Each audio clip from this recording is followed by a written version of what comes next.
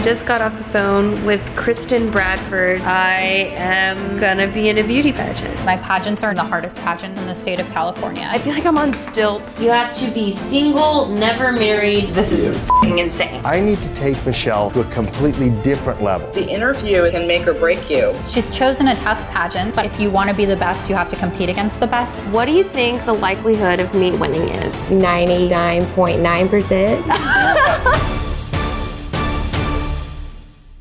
Today is the pageant day. Pageant mom Olivia has arrived. She's gonna do my hair and makeup. Thank God. These are all of the products required to make me a beauty queen. What do you think is like the worst thing that could happen to me today, Olivia? Well, you could fall on your face. Oh, f But the thing about that is you'd lose, but you get a lot of views from it.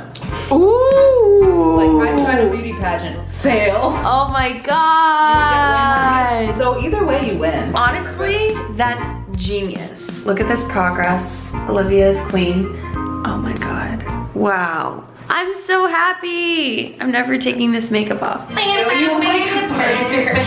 you look so crazy.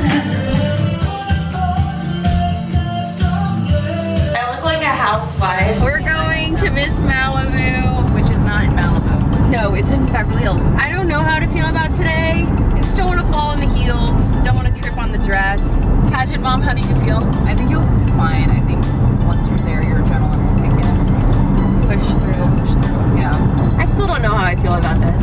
Usually, like by this point in the challenges that I do, I have a pretty good opinion on what I'm getting into. And this is the first time where I'm like, I don't know. All those other times Yeah. it was really for you. That's true. And you had control over the Yeah. end result. This, I like, You did. don't have control over the end result. Not to freak you out. Did you practice last night walking for two hours? Are you touching your face? Don't touch your hair. I spent a really long time teasing it. If you touch it, it'll fall. Did you remember the Vaseline to put on your teeth? You remembered your shoes, right? So the second we walk into the building, you have to be all smiles. Like, don't even look slightly bit nervous. You have to look so confident. You have to walk in. Energy can't fall. You gotta be up there all day. All right. Are you sure you brought your shoes? Yes. Pageant has three sections interview, swimwear, and evening gown. The first part of the pageant is the solo interview portion where a panel of judges grills you for two minutes. We have no idea who the judges are, how many of them there will be, or what questions they're going to ask. It's nerve wracking because this is the part of the competition the majority of contestants mess up. First time I was like trying so hard to be the, the like perfect pageant girl, and all the answers were so fake and so bad, and they were like, no, you get better at it, and it just like helps you be yourself. I learned how to speak my values and my truth. You don't realize like what it's preparing you for until you're already in the situation. I mean, this panel interview prepares you for so much more than just a pageant. Prepares you for life. This is happening. Just take a deep breath, just smile, have fun. I'm shaking. I'm like so nervous. I can do this. It's beginning. I'm nervous. Hi, Hello. my name is Michelle Khare, and I'm contestant number 10. Nice to meet you. Nice to meet you guys. This is the first time you're participating. this is my first time being in a pageant, and thank you so much for letting my crew be in here to document the process. I do a YouTube channel where I take on extreme challenges, and I really wanted to try a pageant because it's something that I feel like is misrepresented in the media a lot, and I wanted to check it out for myself and see what it's all about. It says here that your career ambition is to be the first Indian American superhero on TV. Can Yes. you explain that a little bit? Absolutely. So I um, have done a lot of stunt work on my YouTube channel. I've worked with the Marvel stunt team. I've trained with a bunch of different superhero stunt doubles. And throughout that, like my ultimate goal is to be the first Indian American superhero on television. And that's because it's never happened before. And I feel like it's an entire portion of the world that isn't represented. And growing up, I never saw myself on television or on Disney Channel or anything like that. And I want to show other young women that they can do that. That's awesome. It's really Thank As you. you're a professional cyclist, Yes. being it, what is your thoughts and your perception now of Lance Armstrong after everything's come out? What did they ask her? Lance Armstrong, Lord, he is uh, something else. You know, I, I think like what Lance did is obviously very wrong. You shouldn't do drugs. Um, but, um, you know, I think what disappointed me the most about Lance Armstrong was that it took away from the spotlight of awesome female cyclists. Um, and I think there are many amazing female cyclists like Marianne Vos, um, Pauline Prevot, who have done amazing things for the sport, and they don't have the same spotlight. And that's why I love doing cycling too, because I wanted to show that women can be strong, women can do really cool things, and that's also why I love like bringing it to social media as well on my YouTube channel and stuff. All right. Thank you. Thanks for being honest about Lance too. Oh, Instead yeah. of playing that politically, Politically you just Yeah. said what was in your heart. Love that. Yeah, thank you so much. It was really nice to meet you guys. Now we're headed to the next location for the rest of the pageant. I think it went well. Olivia heard it. Olivia, what do you think?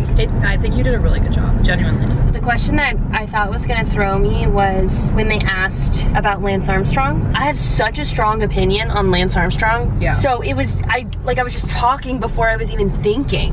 Yeah, but what you said was fine. I think I just said don't do drugs, and then I was like, what the f did I just say? I don't think you said. I, I did say that. You shouldn't do drugs. It's crazy to me how I felt more welcomed in a room of judges than I do in traditional Hollywood probably every day. You expect them to like literally judge you and like mm-hmm. I don't think they went easy on me at all. I thought the questions they asked were comprehensive for sure. It wasn't like that.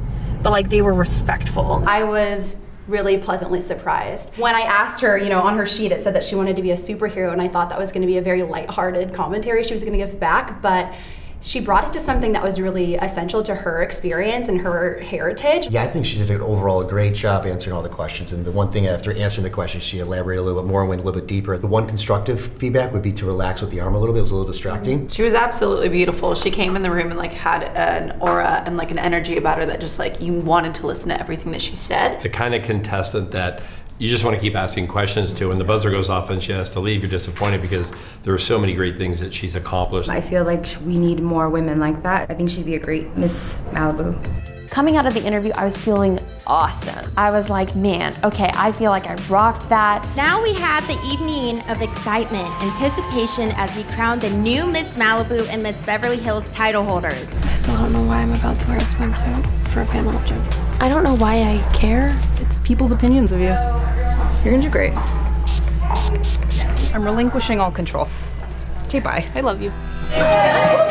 It's our opening number dress. And we go out for the first section of the pageant. In my first dress,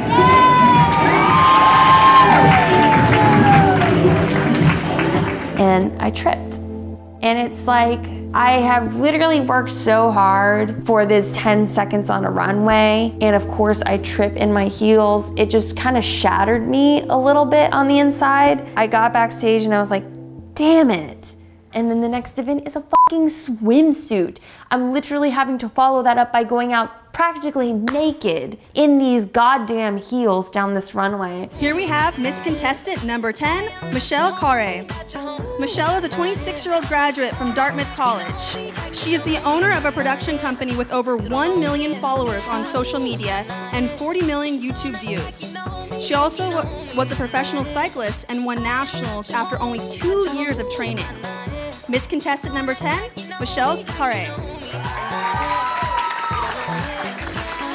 I felt tense. I, I didn't feel like super great, but I tried to have fun. I really did. It was just a really weird feeling being out there in a swimsuit in front of judges. I was having fun in the swimsuit, feeling empowered when all of these people were cheering for me in the crowd, and when I looked on the runway at the judges judging me in a swimsuit. That was when it got really weird. And obviously I know what I signed up for, but it's strange to feel this weird push and pull between I feel uncomfortable and I feel really empowered. Now, let's slow down the pace for a bit and begin our evening gown competition. Up next, we have Miss Contestant number 10, Michelle.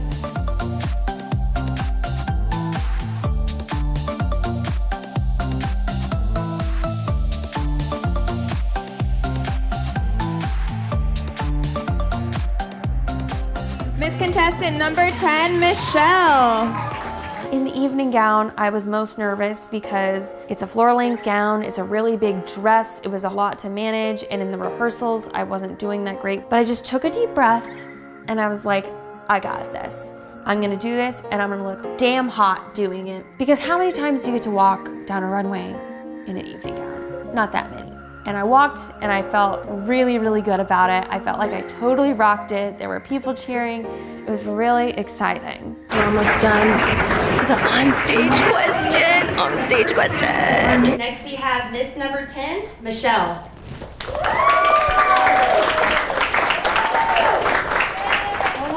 Hello.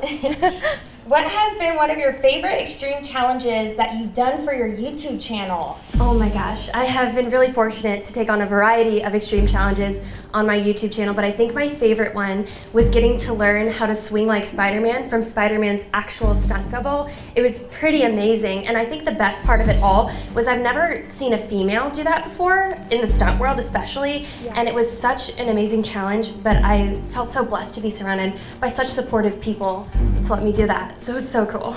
Wow, I'm gonna have to try that. I totally knocked the onstage question out of the park. I love talking about my YouTube channel, and it was really fun to get to talk about that on stage. We just finished everything. And now we're waiting to see the top, top five. Political question. Here are your top five finalists for Miss Malibu and Miss Beverly Hills. Are you guys ready? All right, so our first top five finalist is Miss Contestant number four, Jacqueline. Woo!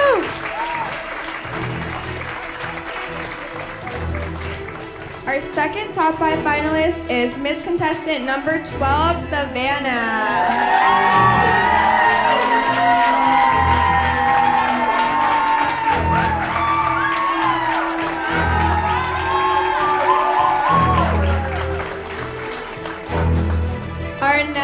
Top five finalist is Miss Contestant number 10, Michelle. I couldn't believe that I made the top five and felt like, oh my God, could I actually win Miss Malibu? Okay, girls, this is your last chance to shine. Just a reminder the judges will choose tonight's winners based on your overall performance as well as the answer to the final question. Should there be more restrictions on the current process of purchasing a gun? Absolutely.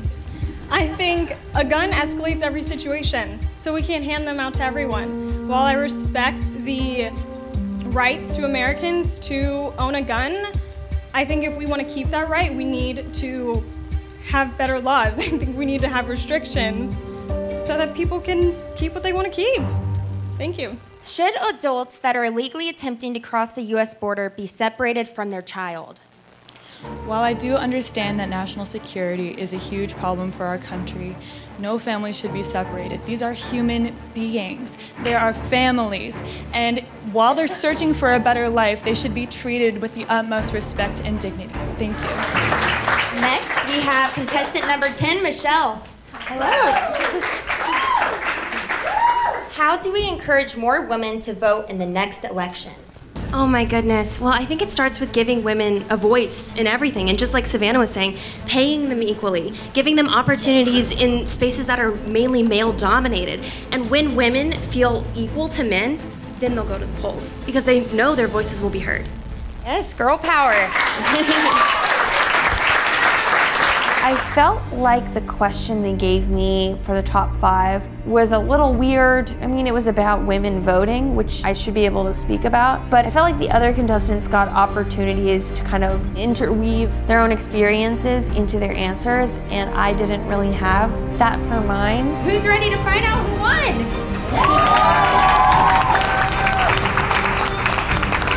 So for the title of Miss Malibu and Beverly Hills, our third runner-up is contestant number 10, Michelle.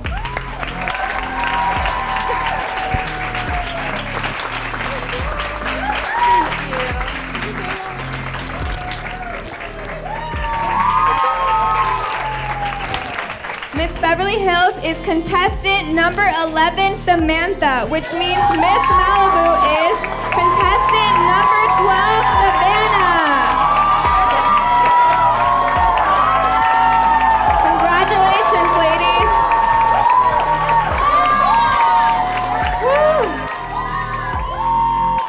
I found out that I got third runner up, I mean, I was just really excited that I got top five at all, but I was also a little bit disappointed because I think the hardest part for me about this experience is thinking about how I totally killed the interview. And so what must have brought me down was the way I walk in heels. And that's not a great feeling. Cheers. To fourth place and this being over. Beauty pageants are weird. I want to know what y'all thought. Uh, we have a lot of thoughts. We just talked about Michelle falling.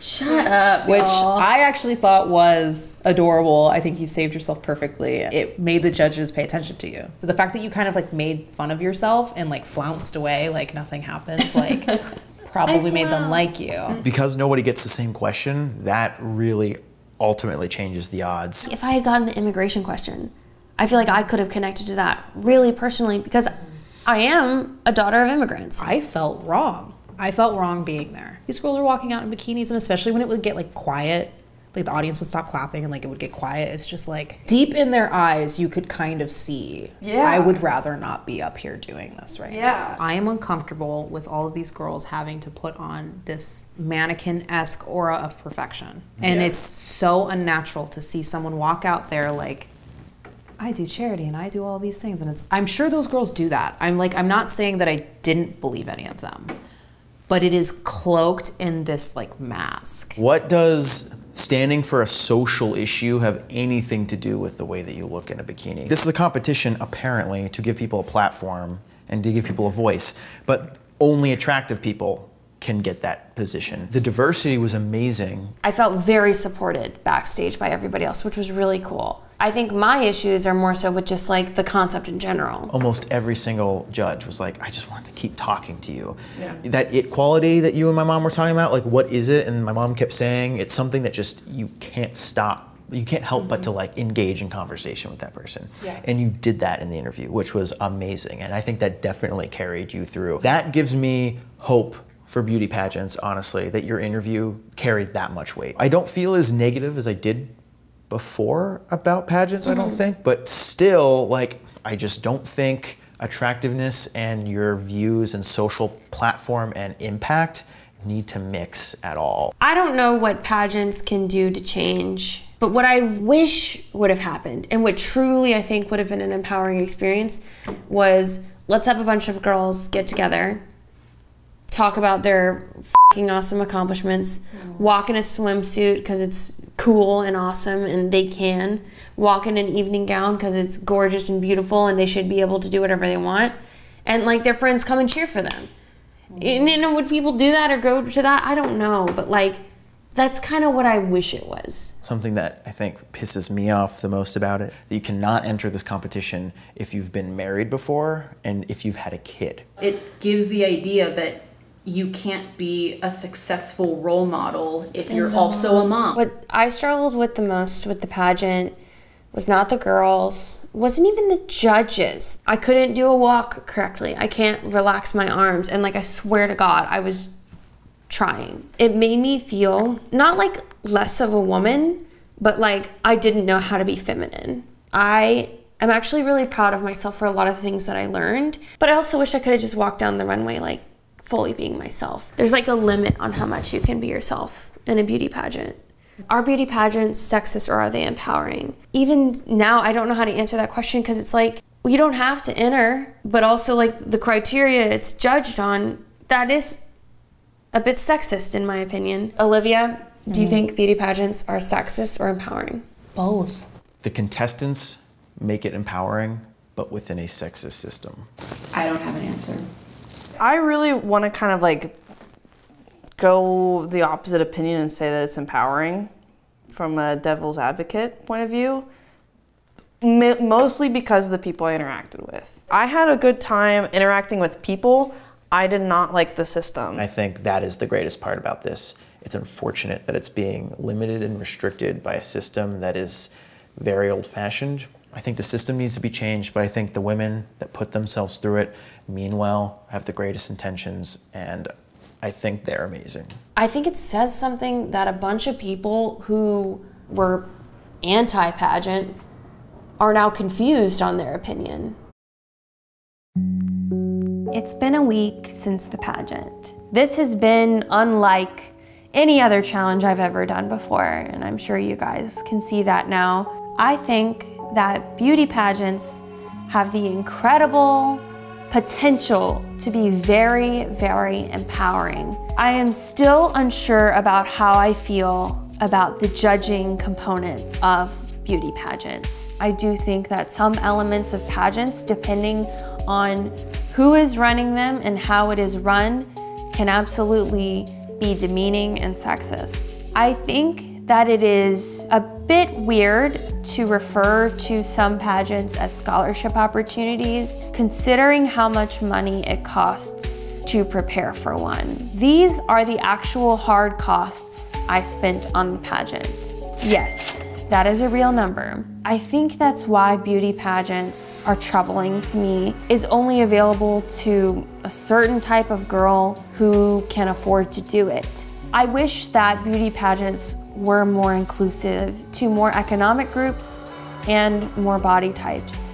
It's difficult to say that a swimsuit competition is about health and fitness when someone's health and fitness can be defined by way more than just the way that their body looks. I think if you want to enter a beauty pageant and feel sexy and awesome and grow as an individual and practice your public speaking, you should do it no matter what you look like. More diverse women participating in these events will also reshape how mainstream America views beauty. And I think that would be really cool. But I also want to say you don't have to look like a beauty queen on the outside to feel beautiful. This is one type of beauty.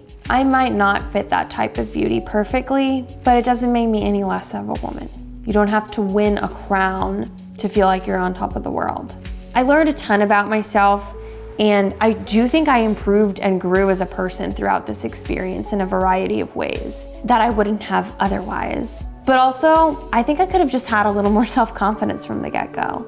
And so should you. If you enjoyed this video and somehow made it to the end, please give this video a thumbs up, comment below with your thoughts on beauty pageants, what you wanna see next. And as always, subscribe if you're new here because I always take on the most insane challenges. Have a great day. Bye.